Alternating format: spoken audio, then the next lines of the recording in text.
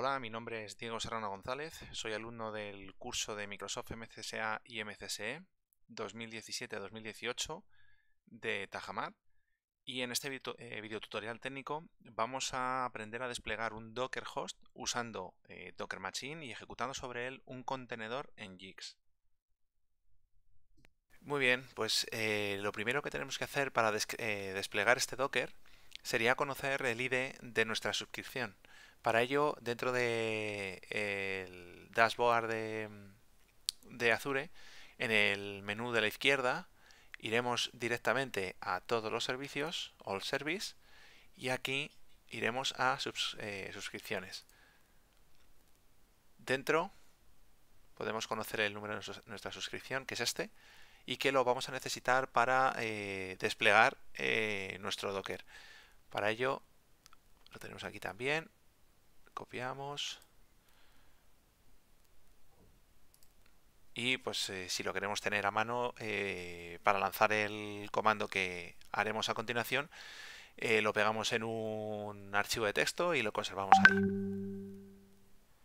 Una vez que tenemos nuestro número de suscripción nuestra subscription ID vamos a abrir el Cloud Shell la consola Cloud tarda un poquito en abrir.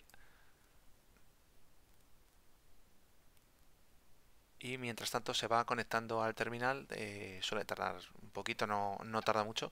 Recordar que eh, la primera vez que abramos el Cloud Shell, el propio Azure hará una instalación y un grupo de recursos. Se encontraría dentro de grupo de recursos haría este Cloud Shell Storage eh, y la zona donde lo despleguemos y creará eh, por defecto este storage account necesario para poder ejecutar eh, la consola del Cloud Shell. Ahora lo primero que vamos a hacer, y bueno, realmente es el único comando que habría que, que ejecutar, es el que despliega el Docker. Para ello, junto con nuestro número de suscripción, lo pegamos aquí y lo lanzamos. Bueno, en este caso y por pruebas anteriores me dice que eh, la máquina Docker VM2 existe, pero no pasa nada porque podemos renombrarla, por ejemplo, eh, podemos poner un Docker Machine, que es como se va a llamar, y ejecutamos este comando. Voy a hacer un poquito más grande la consola. Como podemos ver eh, en el comando, al principio indicamos el docker machine create, el "-d eh, indicamos el driver con el que vamos a trabajar, pues por ejemplo en este caso es Azure, luego el ID de nuestra suscripción, qué usuario le vamos a dar, en este caso nada muy complicado, usuario, el puerto que vamos a abrir, el tipo de máquina que vamos a utilizar, la localización, aquí se corta pero es el este de Estados Unidos, y eh, el nombre que le vamos a dar eh, al Docker que es Docker Machine. Ejecutamos y ahora empieza una serie de empieza a chequear unos, prerequisitos para ver si se cumple eh, con todas las condiciones y empezará a crear tanto la máquina virtual, bueno, el grupo de recursos, máquina virtual y todo lo necesario para poder desplegar este Docker en una máquina virtual. Este proceso suele tardar 5 minutos aproximadamente, dependiendo de la complejidad de lo que queramos, por lo que, eh, bueno, aquí haremos una pausa en el vídeo y continuaremos una vez eh, se haya desplegado. Y bien, en este caso ya ha terminado la, la creación de todo lo necesario para el despliegue con Docker Machine. Si nos vamos a los grupos de recursos para verlo en Azure, vemos que ha quedado el grupo de recursos Docker Machine y dentro todo lo necesario para poder realizar esta práctica.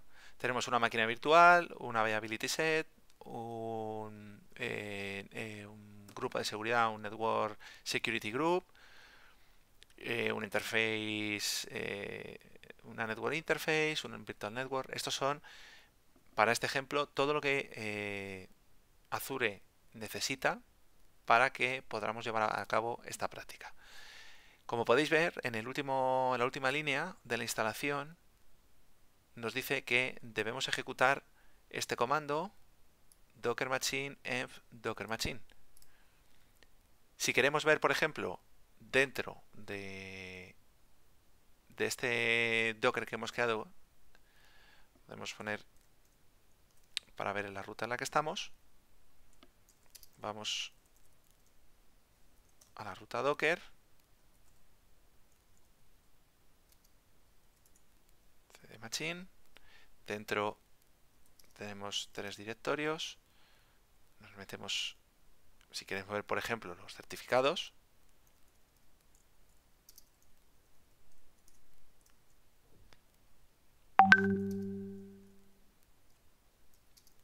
y si por ejemplo queremos ver la configuración de las máquinas eh, eh, creadas, eh, por ejemplo, ahora lo que vamos a ver son todas las pruebas que hemos hecho anteriormente, nos metemos en el directorio, volvemos uno atrás de certificados, volvemos al directorio machine y nos metemos en machines.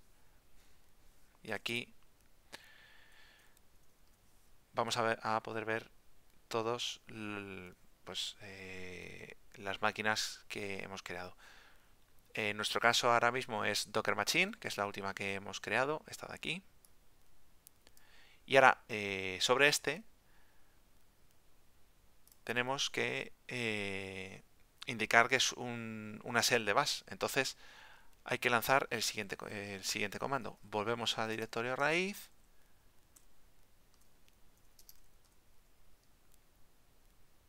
y ejecutamos el siguiente comando es docker machine. And docker machine. Aquí es el nombre de nuestro host. Y shell bust ejecutamos.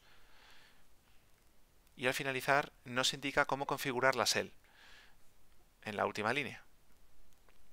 Es decir, que sería copiar este comando, pegarlo aquí abajo y ejecutar.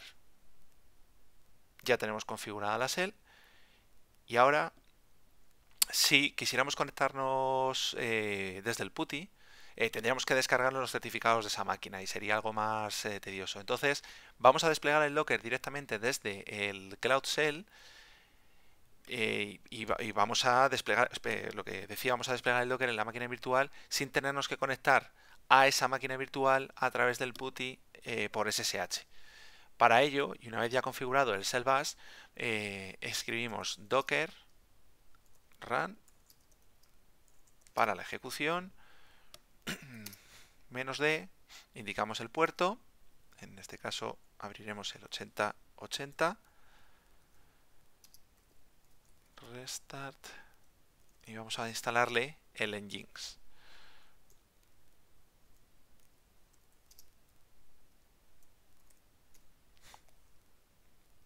Entonces ahora ejecutamos este comando para eh, que se despliegue sobre el Docker el servicio Nginx y empezará a desplegarlo. En este caso nos da un pequeño error. Vamos a volver a, intentar ejecutar el, comando. Bueno, pues lo he copiado, lo pego, en principio docker run, ejecutamos y ahora sí empieza la descarga y empieza a descargar la imagen para el servicio Nginx. Este proceso, como podéis ver, no tarda mucho en este caso, por lo que no ha hecho falta que parar la imagen, por lo que continuamos. Ahora eh, lo que tenemos que hacer es ver la IP pública de esta máquina que hemos generado anteriormente. Aquí arriba, eh, dentro del grupo de recursos, tenemos la máquina Docker Machine y aquí tenéis la IP pública, la copiamos y abrimos otra pestaña de este navegador, por ejemplo, y ejecutamos. Como podéis ver, el servicio Nginx se ha desplegado en el Docker y a través de la IP pública del navegador, perdón, de la máquina virtual, podemos ver este servicio corriendo correctamente.